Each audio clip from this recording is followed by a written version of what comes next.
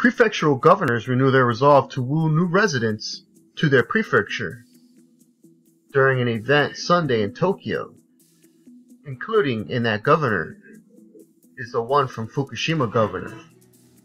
As Japan's governors are urging Tokyo residents and audience in other parts of Japan to move out of the cities and move to the countrysides near Fukushima. Why don't you come and live in the countryside? That was a message from prefectural governors at an event in Tokyo on Sunday as part of their efforts to revitalize life outside of Japan's metropolis and move in to the countrysides where the radioactive levels in the forests are higher. They urge young people in particular to move to their prefectures, underscoring that the space and pace in small cities and towns are those that allow residents to live fulfilling lives.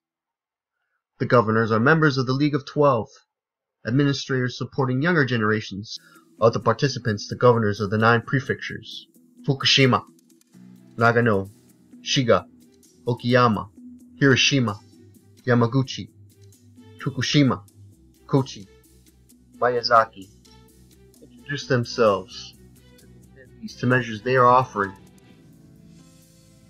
To attract newcomers, the event took place at the Sunshine City Commercial Complex in Tokyo's Toshima Ward. Nagano Governor Shuichi Abe talked about his prefecture's support for families with young children, including the Mori Un Yuchin Forest Kindergarten Preschool Education Program, which utilizes the mountainous prefecture's rich natural environment. Kochi Governor Masanao Ozaki stressed, We have a woman-friendly work environment, knowing the Kochi ranks top among Japan's 47 prefectures in the proportion of women in managerial posts.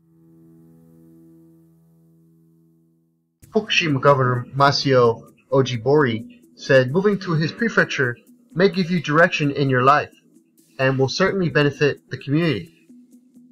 If you come to live with us in Fukushima and work there, that will facilitate its post-disaster reconstruction and help you lead a meaningful life, he said.